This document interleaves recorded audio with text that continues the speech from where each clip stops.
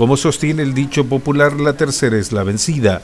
En dos oportunidades, en junio y en diciembre del 2017, la Comisión de Educación de la Legislatura se reunió para tratar la adhesión a la Ley Nacional de Educación Sexual Integral. Sin embargo, no hubo quórum. Hoy se realizó la tercera convocatoria, donde si bien hubo quórum, no hubo dictamen.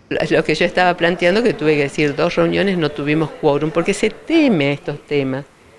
Y no hay peor cosa que no debatirlo. Hoy tuvimos quórum. Sí, sí, sí, tuvimos quórum y fue un riquísimo debate donde se han planteado distintas situaciones, inclusive eh, este, también docentes que pudieron hablar y me parece que por ahí pasa la cosa. ¿Con lo cual se espera que para la sesión del próximo 4 esté en el orden del... No, no, no, no, no, no hemos dado dictamen. Estamos, a ver, dando los primeros pasos en la legislatura para poder tratar un tema que es muy sensible y muy necesario, pero también hay mucho desconocimiento de lo que dice la ley. Así que los invito a leer la ley y las herramientas y los instrumentos que si bien llegaron a todas las instituciones educativas de gestión pública como de gestión privada, hay algunas que las escuelas usarán, otras que no, otras tendrán, pero lo que sí es necesario es formar a los docentes para que inclusive los propios docentes de la escuela